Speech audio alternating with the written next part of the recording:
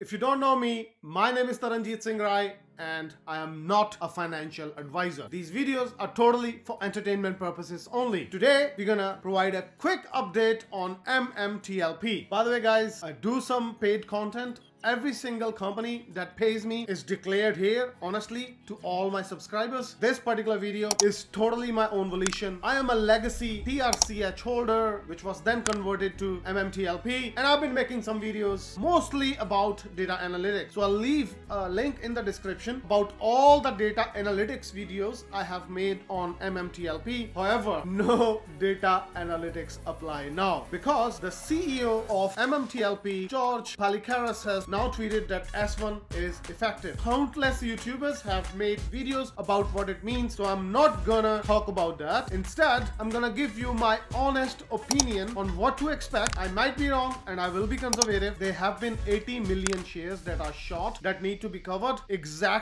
is this correct? I don't know. I can't find the information. Some website says it's 6 million, some website says it's 10 million. I think there is some big corruption going on. There will be be time for shorts to cover. I don't think we should get overly excited until we see the profits. So my advice will be to always take some profits on the way up. So if you have 500 shares, I will sell 50 at $20, 50 at $50, 50 at $100, so on and so forth. Keep 100 shares, maybe into NextBridge Hydrocarbons Limited. What concerns me is probably the original legacy holders are the ones who actually have the shares. Basically, most of the brokers, what they have done, they have sold you a artificial ticker. So actually you don't hold MMTLP, you just hold a receipt. These brokers then can collaborate with the hedge funds, so on and so forth. So let's not go into detail of it because this is a light-hearted short video where I'm gonna tell you my honest thoughts. In the previous video, I had called out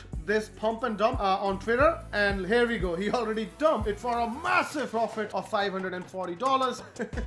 he, he doesn't know what is about to come. Uh, Microcap Daily also published a really bullish article. MMTLP, there might be a short squeeze possible. Again, I am not so sure if this information is correct. Whether it's 15 working days or it is 15 days after S1 has been effective. What was the reasoning for the CEO to tweet that tweet right before the weekend? Maybe he knows something that we don't know we know that the big holders have been getting personal calls from the brokers to either sell or to lend them shares for shorting. It's gonna be very, very volatile, folks. We are already 8 or 9x from our call. The interesting statistics here is there are six different variations of Vanguard Vanguard, I don't need to introduce to you, who actually have a lot and lots of shares and look at the percentage out. So again, they haven't sold a single share. For MMTLP to reach three figures, which I think it can, retail has to hold. There will be short attacks, so the price might swing up to $20 and back to 7 or $8. But if the retail holds, I think we are going to the moon. Obviously, nothing is financial advice here. I am just an entertainer, random YouTuber on YouTube. But do give me a like and subscribe, hit that bell notification button. And now now I'm gonna give you my strategy of what I'm doing. For you, the strategy might be different. Full transparency, I have sold 10 shares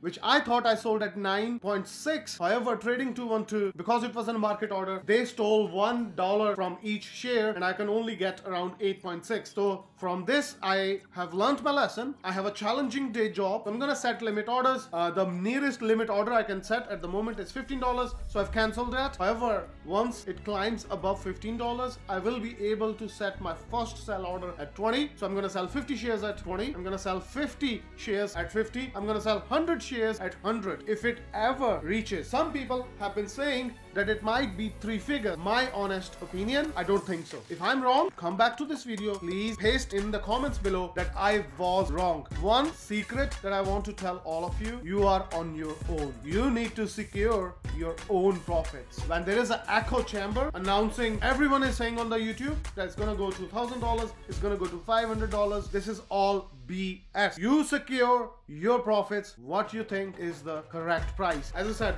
I'm not gonna do any TA today because TA is out of the window. No trading analysis can predict what's gonna happen. In fact, no one can predict what's gonna happen. If you think the shorting people are not aware of the situation, I'm sorry, you're wrong. They know what is going on. So there will be a shakeout and you never know what how these synthetics, how these naked shares, how these shorts collaborate with each other to make money off retail. 99.99% of the time, the whales win, the hedge funds win, the brokers win. Very, very rare that the retail wins. MMTLP can be one of those rare wins. That's all I have to say in this particular video. If you like the content, hit subscribe, hit that bell notification button, and I'll see you in the next video.